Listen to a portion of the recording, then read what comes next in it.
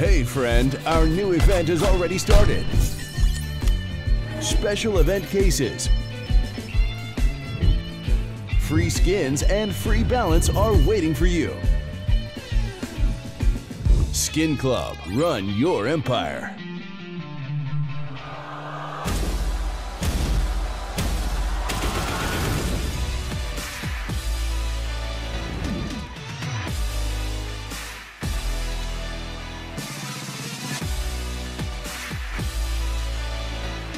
Primer sospechoso del día de hoy. Estamos en el mapa de Nuke y vamos a ver qué es lo que hace el sospechoso, chicos y chicas. Es raro ver este mapa en el Cazando Hackers. De momento vemos como aquí el compañero con el AVP no es que de la mayoría de las balas. Ahora ya veréis que le ha agafado. Está bajando por aquí el compañero. Uy, lo sabe. Uy, cómo lo sabe, eh.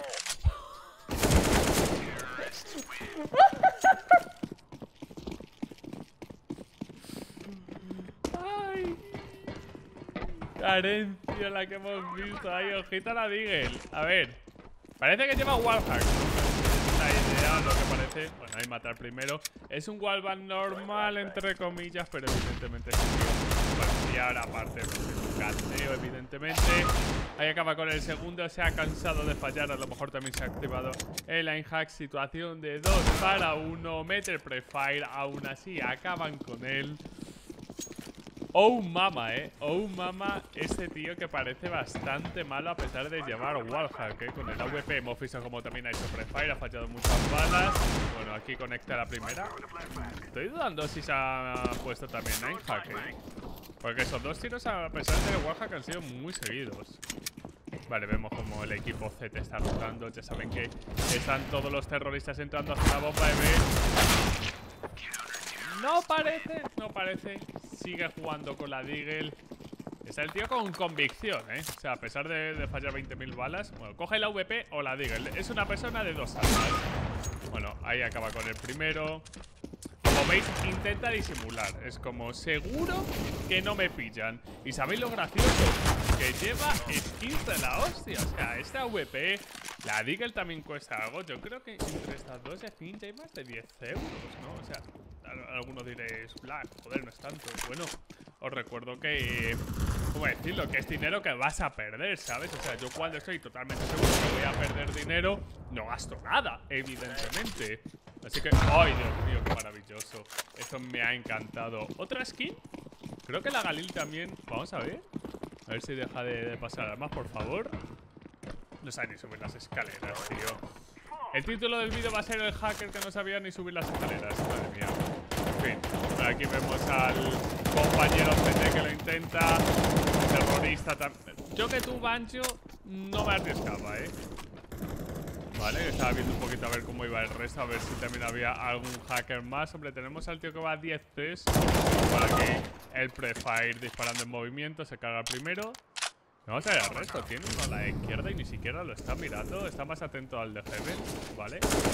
Que ya os digo yo que este tío, a pesar de tener... No sé qué rango será este. Pero el tema del... El del wallhack es que... Es malísimo. O sea, ya os digo yo que muchos de vosotros ganaríais este hombre. A ver, tiene una arriba de strike. Le dispara otra vez. El terrorista mata primero. Le hace el rekill. 4 de vida. Lo tiene fácil, lo tiene fácil. Una vez que tiene wallhack. ¿Qué va a pasar, tío? ¿Qué va a pasar? Vamos a ver. Yo creo que la pierde, tío. Yo creo que es tan malo que la pierde. Disparando al... o ¿cómo, ¿Cómo llamaríamos a eso, no? Hombre, la Scout yo no te recomiendo cogerla. ¿Has visto que se ha quedado sin balas? Porque ha disparado más a la pared que otra cosa. Canario, tío. Lanza el molotov. Lanza el molotov y ponte a plantar. O sea, como lo juega. Vale. Pelín tarde, desde mi punto de vista. Ya le corre y acaba con él, porque eso es wallbang. ¿Cómo? Lo que me llama la atención es que hay algunos wallbang que, que sabe cuáles son y otros que no. Bueno, directamente este tío dispara la pared y ya está. En fin, vamos a ver la siguiente ronda, pero yo creo que está bastante, bastante claro que este hombre lleva wallhack. No sé si alguno de vosotros tiene la duda, pero yo creo que está más que claro. Y bueno, después hablaremos ahora del drama de G2, del drama del entrenador de Heroic, todo esto y mucho más lo veremos ahora en cuanto acabe eh, este sospechoso. Así que vamos al lío. Vamos a poner esta cámara rápida. Es que, como digo, encima van 5-4, eh, ¿eh? Imaginaros si fueran todos legales. La partida se les complicaría una auténtica barbaridad a que pierde la ronda. Yo creo que ha perdido la ronda, o sea que van 5-5. En fin, lamentable. Eh, nos lleva trampas de precisión, sí de visión y el resto nos lleva absolutamente nada. Así que turno, chicos y chicas, de abrir las cajas. Ya sabéis, si queréis apoyar esta serie con un gran like, abriré cajas entre sospechoso y sospechoso buscando el cuchillo o los guantes. Así que vamos al lío, porque de momento de esta caja picadura habré abierto más de mil cajas, yo creo, sin lugar a dudas, y no me ha tocado nada. ¡Oh! ¡Vamos! El no llora no mama. El que no llora no mama. Sí. Fiel este, no me lo creo. ¿Cuánto es esto? ¿Cuánto es esto? 300 euros. ¡Vámonos! Hacemos unos guantes bonitos, ¿eh? Que eso es muy complicado. Unos guantes bonitos. Bueno, ya me toca de M4 flipas. ¡Hostias! ¡Qué locura, tío! En fin, vamos a por el siguiente sospechoso. Segundo sospechoso del día de hoy. Estamos en el mapa de Mirage y vamos a ver qué es lo que hace el sospechoso. Chicos y chicas, me estoy encontrando muchísimas peonzas. Me está costando una barbaridad grabar este vídeo. Y por cierto, este tío evidentemente lleva wallhack Y viendo el porcentaje de pesos que tiene, también debería llevar hack Sigamos viendo pero como os digo, eh, wow. O sea, muchas, muchas más peonzas de lo normal. Vemos, hecho, como... What? Esto está... ¿Qué es esto? O sea, ¿han cambiado las muertes? ¿Ahora no aparecen las muertes? ¿Han cambiado esto? O no sé qué. O a lo mejor es solo en el caso de cazar hackers. Pero bueno, como íbamos diciendo, 12-1, 11-1 hay un par de eh, personas que digamos que pueden llevar algo. Pero acabo de ver que hay uno que se ha caído o directamente se ha caído. Sigamos. A lo mejor no lleva hack porque evidentemente habría dado las balas. Pero bueno, chicos y chicas, hablemos de cosas. Hablemos de G2 que, bueno, como habéis visto, eh, ha perdido todos y cada uno de los partidos de su grupo de la SL Pro League. Se acerca el Major, si no me equivoco, en, dos, en tres meses más o menos. La pregunta es, ¿Creéis que G2 va a hacer cambios? ¿Creéis que va a volver Kenny es? Porque esto ha sido duro, o sea, es que les han pasado la tula por la cara en todos los partidos. Yo he flipado, la verdad. Eh, dentro de poquito es la Blast, así que por lo tanto sigamos eh, viendo a ver qué es lo que hacen. Pero claro, eh, si te va mal en la Blast y luego tienes el Major, eh, no vas a ir con lo mismo de siempre. O sea, Nico dudo que esté muy muy feliz, la verdad. Pero menuda liada por parte de, del equipo de G2, ¿no? Eh, la cara que han dado en una fase tan importante del año. Porque como digo, ya a partir de aquí es el sprint final al Major. El evento más importante de toda la historia. Yo qué sé, es como... No sabría deciros vas a disputar la final de la Champions y el último de tu equipo te ha cascado un 5-0. Claro, vas a la final de la Champions diciendo, y ahora aquí, ¿qué mierda voy a hacer? Si, si me han pintado la cara. Y encima equipos que el grupo de G2 era para quedar primero. las cosas claras. Auchi está jugando muy bien. Podríamos discutir primero, segundo, tercero. Pero no sé, bueno, Virtus Pro, no sé. Tenía un equipo, para quedar en buena posición pero no para quedarse esto con un 0-5. Las cosas sean dichas. Y ahora ha empezado el grupo de la muerte, donde hay equipos como Navi, Fnatic, Mousesport, o sea... Eh, para mí ese grupo de la muerte, Muito, por ejemplo, me ha comentado que el grupo D puede ser quizás mejor en cuanto a nivel, porque ha habido muchos cambios en equipos del grupo C, pero yo, a mí me llama más el C. Decidme en los comentarios, eh, de vuestro punto de vista, cuál es el equipo que más os llama la atención. Y bueno, vemos como uno de los terroristas ha abandonado la partida, evidentemente, después de, pues eso, ¿no? Que, se estén pasando por todo el puto mapa llevando hacks, yo lo entiendo. Así que chicos y chicas, eh, visto para sentencia este caso, vamos a reportarle.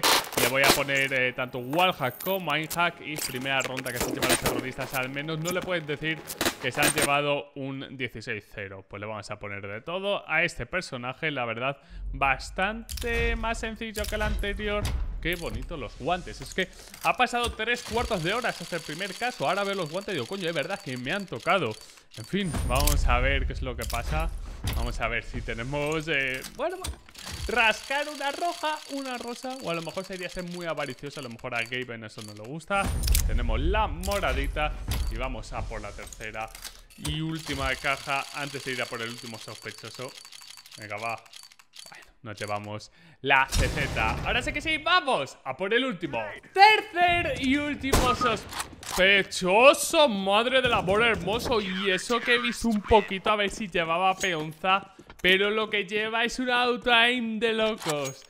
Tercer sospechoso del día de hoy. Estamos en el mapa de Nuke. Y como veis, chicos y chicas, me atrevería a decir que el guacamayo ese también va cargadísimo. Bueno, este tío literalmente si hay que hacer banning y reventar. El caso es Canario, el del otro equipo, llevará... Bueno, esto es absurdo. O sea, no lleva peonza, pero como si la llevara. Porque es que no intenta disimularlo. De hecho, está metiendo tiros que no sabía ni que se podían meter. Así que vamos a acabar el vídeo en resumidas cuentas, chicos y chicas. Eh, con lo de Handen, el entrenador de Heroi que ha sido baneado dos meses por aprovechar el bug del espectador. Como sabéis, chicos y chicas, eh, hubo una serie de, bueno, eh, investigaciones porque los entrenadores podían ver dónde iban el, el equipo enemigo, por lo tanto, pues tenían mucha ventaja, ¿vale? Pues ese entrenador fue ha sido baneado durante dos años y ahora ha dicho, atención, que el equipo lo sabía, que por lo tanto los jugadores tenían constancia de que él estaba usando de ese truco y por ello ganaban partidas. Claro, hay mucha gente que dice que ya ese entrenador hace todo lo posible para llevarse al equipo de Heroic con él, eh, básicamente a la tumba, porque como ya básicamente ha perdido toda su trayectoria, ¿quién le va a contratar? Las cosas están muy, muy complicadas para él. Y ya por despecho, mucha gente dice que lo ha hecho. Hay gente que le cree, hay gente que no le cree. Eric, la verdad, que llevó una buena racha, pero no sé exactamente cuántos partidos abusó de ese bug. Por lo tanto, no podría decir eh, ahora mismo ¿Qué es lo que podría pasar? Vamos a ver, intentaremos eh, descubrir en eh, los próximos vídeos qué es lo que pasa con tanto el entrenador como los jugadores de que imaginaros, ¿no? De ser uno de los mejores equipos de todo el año a eh, pues estar muy, muy señalados por culpa del exentrenador. Es que yo creo que la escena de Counter-Strike en general, y esto lo digo con toda la honestidad del mundo, hay muchas, muchas, muchas cosas ocultas de gente que ha utilizado hacks, de gente que ha abusado de exploits, eh, se intenta cubrir estas cosas porque, claro, hay amiguismos, hay mucho dinero en juego y tal. Tengo miedo de que un día explote todo. De corazón tengo miedo de que un día explote todo y la escena competitiva de Counter-Strike se vea comprometida. Espero que no llegue ese día, pero como digo, eh, con este tipo de cosas la verdad es que te quedas un poco con mal cuerpo, ¿no? Así que chicos y chicas, esto ha sido todo por el vídeo del día de hoy. Espero de corazón que os haya gustado tanto como a mí. Si ha sido así, reventar el botón de like, no olvidéis suscribiros y nos vemos mañana con mucho más. Un saludo y hasta la próxima. Chao, chao.